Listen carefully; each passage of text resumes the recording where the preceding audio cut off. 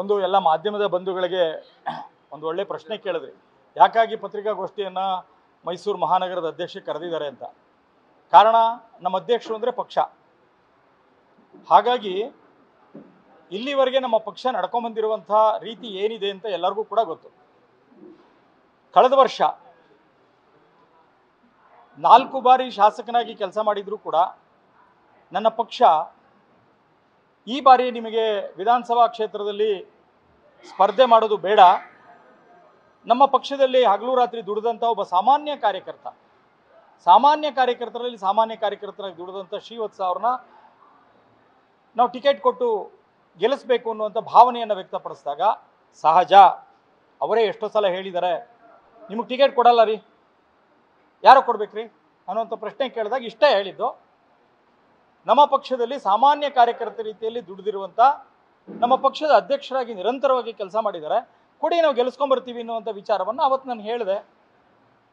ಅದರ ಪ್ರಕಾರದಲ್ಲೇ ನಮ್ಮ ಮನೆಗೆ ಸ್ವತಃ ಸಂಸದರು ಸೇರಿ ಎಲ್ಲರೂ ಕೂಡ ಬಂದಿದ್ದರು ರಾಷ್ಟ್ರೀಯ ನಾಯಕರುಗಳು ಕೂಡ ಬಂದಿದ್ದರು ಆಗ ನಾನು ಅವ್ರಿಗೊಂದು ಮಾತು ಹೇಳಿದೆ, ನನ್ನ ಕಾರ್ಯಕರ್ತರುಗಳಲ್ಲಿ ಒಂದ್ಸಲ ಕನ್ವಿನ್ಸ್ ಮಾಡಲಿಕ್ಕೆ ನನಗೆ ಟೈಮ್ ಕೊಡಿ. ಅಂಥೇಳಿ ಹನ್ನೆರಡು ಗಂಟೆಗಳ ಕಾಲ ಟೈಮ್ ತಗೊಂಡು ನಾನು ಎಲ್ಲ ಕಾರ್ಯಕರ್ತರನ್ನು ಕೂಡ ಕರೆದು ಮಾತನಾಡಿ ನಮ್ಮ ಮನೆಯಲ್ಲೇ ಪತ್ರಿಕಾಗೋಷ್ಠಿ ಮಾಡಿ, ಅಲ್ಲೇ ನಾವು ಅನೌನ್ಸ್ ಮಾಡಿದ್ವಿ. ಸ್ವತಃ ಪ್ರತಾಪ್ ಸಿಂಹ ಅವರು ಕೂಡ ಅಲ್ಲಿಗೆ ಬಂದಿದ್ದರು ಅವ್ರು ಹೇಳಿದಂಥ ಮಾತು, ಒಬ್ಬ ನಿಷ್ಠಾವಂತ ಕಾರ್ಯ, ಮಾಧ್ಯಮದವರು ತಾವೇ ಕೇಳಿದ್ರಿ, ನಾನು ಇನ್ನೂ ಭೇಟಿಯಾಗಿರಲಿಲ್ಲ. ಆಗ ಒಂದು ಮಾತು ಹೇಳಿದ್ರು, ಭಾರತೀಯ ಜನತಾ ಪಕ್ಷ ಇರುವುದೇ ನಿಷ್ಠಾವಂತ ಕಾರ್ಯಕರ್ತರ ಮೂಲಕವಾಗಿ, ಒಬ್ಬ ನಿಜವಾದಂಥ ಕಾರ್ಯಕರ್ತನಿಗೆ ಯಾವಾಗ ವಿಷಯ ಗೊತ್ತಾಗುತ್ತೆ ಅಂತಂದರೆ, ಇಂಥ ಸಂದರ್ಭಗಳು ಬಂದಾಗ ಅವರು ಆಗಲೇ ಹೇಳಿದಾಗೆ ಪಕ್ಷ ತಾಯಿಯ ಸ್ಥಾನ. ಹಾಗಾಗಿ ಅವರು ಒಪ್ಕೊಂಡು ಪಕ್ಷದಲ್ಲೇ ಉಳ್ಕೊಂಡು ಪಕ್ಷದ ಸೂಚನೆಯನ್ನು ಪಾಲಿಸುವಂಥದ್ದು ಮಾಡ್ತಾರೆ ರಾಮದಾಸ್ ಅನ್ನುವಂಥ ವಿಶ್ವಾಸ ಇದೆ ಅಂತ ಅವತ್ತು ಹೇಳಿದ್ರು. ಇವತ್ತೂ ಕೂಡ ನಮಗೂ ಕೂಡ ಎಲ್ಲರಿಗೂ ಇದೆ. ಕೇಂದ್ರದಲ್ಲಿ ಇನ್ನೂ ಯಾರು ಏನು ಅಂತ ನಿರ್ಣಯ ಮಾಡಿಲ್ಲ. ಪಾರ್ಲಿಮೆಂಟರಿ ಬೋರ್ಡ್ ಇನ್ನೂ ಮೀಟಿಂಗ್ ಆಗಿಲ್ಲ. ಪ್ರಾಸೆಸ್ಸಲ್ಲಿ ಇದೆ. ಈ ಸಂದರ್ಭದಲ್ಲಿ ಅನವಶ್ಯಕವಾದಂಥ ಚರ್ಚೆಗಳು ಬಂದಿದೆಯಲ್ಲ, ಅದಕ್ಕೋಸ್ಕರವಾಗಿ ನಾವೆಲ್ಲ ಪಕ್ಷದ ಪರವಾಗಿದ್ದೇವೆ. ಮತ್ತು ಈ ಚರ್ಚೆಗಳಿಗೆ ಇನ್ನೂ ಅಂತ್ಯ ಆಗಿಲ್ಲ ಅಂತ ಅಂತ ತಿಳಿಸುವಂಥ ಒಂದೇ ವಿಷಯ ಇಟ್ಕೊಂಡು ಇಲ್ಲಿ ಬಂದ್ವೇ ಹೊರತು ಬೇರೆ ಏನೂ ಅಲ್ಲ. ಎರಡನೇದು, ಪ್ರಶ್ನೆಗಳನ್ನು ಕೇಳಿದ್ರಿ. ಯಾರೇ ಆಗಿರಲಿ, ಮೈಸೂರು ಮಹಾರಾಜರ ಕೊಡುಗೆಯನ್ನು ನೆಚ್ಚಿನ ಪ್ರಧಾನಮಂತ್ರಿಗಳು ಇಲ್ಲಿ ಬಂದಾಗ ಯಾವ ರೀತಿಯಲ್ಲಿ ಇಡೀ ದೇಶಕ್ಕೆ ಮಾದರಿ ಎನ್ನುವಂಥ ವಿಚಾರವನ್ನು ಹೇಳಿದ್ರು. ಬಸವಣ್ಣನವರು ಇಡೀ ಪ್ರಜಾಪ್ರಭುತ್ವದ ವ್ಯವಸ್ಥೆಗೆ ಒಂದು ಮಾದರಿ ಅನ್ನುವಂಥದ್ದನ್ನು ವಿಶ್ಲೇಷಣೆ ಮಾಡಿ ಹೇಳಿದ್ರು. ಅದರ ಜೊತೆಗೆ ನಾವೆಲ್ಲರೂ ಕೂಡ ಮೈಸೂರಿನವರಾಗಿದ್ದುಕೊಂಡು, ಮೈಸೂರು ಜಿಲ್ಲೆಯವರು, ಮಂಡ್ಯ ಜಿಲ್ಲೆ, ನಾವೆಲ್ಲರೂ ಕೂಡ ಋಣಿಯಾಗಿರುವಂಥದ್ದು ಮೈಸೂರು ಮಹಾರಾಜರು ನೂರಾರು ವರ್ಷಗಳ ಕಾಲದ ಹಿಂದೆ ಕೊಟ್ಟಿರುವಂತಹ ಒಂದು ದೊಡ್ಡ ಕೊಡುಗೆ, ಒಂದು ಭಾಗ. ಅವರನ್ನು ನಾವು ಮ್ಯಾನ್ ಆಫ್ ವಿಷನರಿ ಅಂತ ಕರಿತೇವೆ. ದೂರದೃಷ್ಟಿಯನ್ನು ಇಟ್ಕೊಂಡು ಮಾಡಿರುವಂಥ ಕೆಲಸಗಳು ಒಂದ. ಹೇಳ್ತಾ ಹೋದರೆ ಅಷ್ಟಿಷ್ಟಲ್ಲ Mysuru C F T R I D F R L ಇಂದ ಹಿಡಿದು ನಮ್ಮ ಶ್ರವಣ ಸಂಸ್ಥೆ ಯಾವುದಿದೆ? ಕಿವಿ.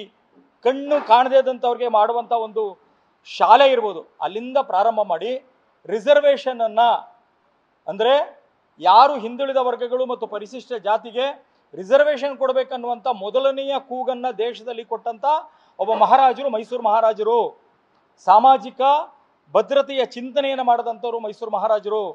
ಇವತ್ತು ನಾವೆಲ್ಲರೂ ಕೂಡ ಬೆಂಗಳೂರಿನಲ್ಲಿ ಇಂಡಿಯನ್ ಇನ್ಸ್ಟಿಟ್ಯೂಟ್ ಆಫ್ ಸೈನ್ಸ್ ಬಗ್ಗೆ ಮಾತಾಡ್ತೀವಿ. ದೊಡ್ಡ ದೊಡ್ಡ ಎಚ್ ಎ ಎಲ್ ಬಗ್ಗೆ ಮಾತಾಡ್ತೀವಿ ಎಚ್ ಎಂ ಟಿ ಬಗ್ಗೆ ಮಾತಾಡ್ತೀವಿ. ಯಾವುದೇ ವಿಚಾರದಲ್ಲಿ ಮಾತಾಡಿದ್ರು ಕೂಡ ಇವತ್ತು ಒಡೆಯರವರ, ಆ ಕುಟುಂಬದ ಒಂದು ದೊಡ್ಡ ಆಶೀರ್ವಾದ ಮತ್ತು ಸಮಾಜಕ್ಕೆ ಮಾಡಿದಂಥ ಕೊಡುಗೆಗಳಿದೆ. ಮೈಸೂರಿನ ಏರ್ಪೋರ್ಟಿಂದ ಪ್ರಾರಂಭ ಮಾಡಿ ಮೈಸೂರಿನ ರೈಲ್ವೆ ಸ್ಟೇಷನಿಂದ ಹಿಡಿದು ಇಡೀ ದೇಶದಲ್ಲಿ ಮೊದಲನೆಯ ಬಾರಿಗೆ ಎಲೆಕ್ಟ್ರಿಸಿಟಿಯನ್ನು ಸಾವಿರದ ಒಂಬೈನೂರ ಮೂರರಲ್ಲಿ ತರುವ ಮುಖಾಂತರದಲ್ಲಿ ಇಡೀ ಪ್ರಪಂಚದ ಲಾಂಗೆಸ್ಟ್ ಟ್ರಾನ್ಸ್ಮಿಷನ್ ಲೈನ್ ಕೊಟ್ಟಂತಹ ಕೀರ್ತಿ ಮೈಸೂರು ಮಹಾರಾಜರಿಗಿದೆ. ಹಾಗಾಗಿ ಒಂದು ಒಂದು ನಿಮಿಷ ಒಂದು ನಿಮಿಷ ಹೇಳ್ಬಿಡ್ತೀನಿ.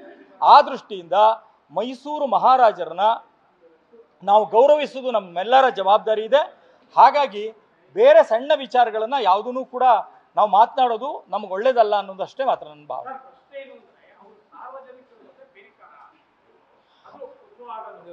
ಒಂದು ಒಂದು ನಿಮಿಷ.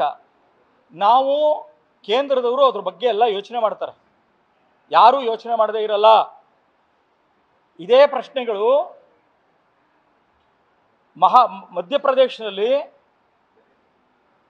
ಮಾಧವರಾವ್ ಸಿಂಧ್ಯಾ ಕುಟುಂಬದವರು ರಾಜಕಾರಣಕ್ಕೆ ಬಂದಾಗಲೂ ಕೂಡ ಚರ್ಚೆ ಇತ್ತು. ಆದರೆ ಅದೆಲ್ಲವೂ ಸೇರಿದ್ದು ಇದ್ರ ಬಗ್ಗೆ ನಮಗಿಂತ ನಾವೆಲ್ಲ ಕಾರ್ಯಕರ್ತರುಗಳು, ನಮಗಿಂತ ಹೆಚ್ಚು ರಾಷ್ಟ್ರವನ್ನು ನಡೆಸುವಂಥ ರಾಷ್ಟ್ರೀಯ ನಾಯಕರು ಯಾರಿದ್ದಾರೆ, ಅವೆಲ್ಲದರ ಬಗ್ಗೆ ಚಿಂತನೆ ಮಾಡೋರು ಅವರು. ಮತ್ತು ಅವ್ರು ಸಾರ್ವಜನಿಕವಾಗಿ ಅವ್ರು ಬಂದರೆ ಅವರು ಅದೆಲ್ಲವನ್ನು ಚಿಂತನೆ ಮಾಡ್ಕೊಂಡು ಬರ್ತಾರೆ. ಹಾಗೆ ಇದನ್ನು ಇಟ್ ಇಸ್ ಟು ಅರ್ಲಿ ನಾವು ಅದ್ರ ಬಗ್ಗೆ ಎಲ್ಲ ಮಾತನಾಡುವಂಥದ್ದು. ಅವ್ರನ್ನ ನಾವು ಪೂಜ್ಯ ಸ್ಥಾನದಲ್ಲಿ ನೋಡಿದ್ದೇವೆ. ಪೂಜ್ಯ ಸ್ಥಾನದಲ್ಲೇ ನೋಡುವಂಥ ವ್ಯವಸ್ಥೆ ಆಗುತ್ತೆ. ಎರಡನೇದು ಮತ್ತೊಂದು ಬಾರಿಗೆ ಹೇಳ್ತಾ ಇದೆ ಇವತ್ತು ಮೈಸೂರಿನ ಲೋಕಸಭೆ ಸೇರಿದಾಗೆ ಮೈಸೂರು ಕೊಡಗು ಸೇರಿದಾಗೆ ಇಡೀ ಕರ್ನಾಟಕ ರಾಜ್ಯದ ಇಪ್ಪತ್ತೆಂಟರ ಬಗ್ಗೆ ಕೂಡ ಇವತ್ತು ಕೇಂದ್ರದ ಎಲೆಕ್ಷನ್ ಪಾರ್ಲಿಮೆಂಟ್ರಿ ಬೋರ್ಡ್ ಸೇರಿ ನಿರ್ಣಯ ಮಾಡ್ತಾರೆ, ಅಲ್ಲಿವರೆಗೆ ಯಾವುದೂ ನಿರ್ಣಯ ಆಗಿಲ್ಲ ಅಂತ ಹೇಳಲಿಕ್ಕೋಸ್ಕರ ಬಯಸ್ತೀನಿ ನ್ಯೂಸ್ ಫಸ್ಟ್ ನಿರ್ಭೀತಿಯಿಂದ ನಿಮ್ಮ ಪರವಾಗಿ.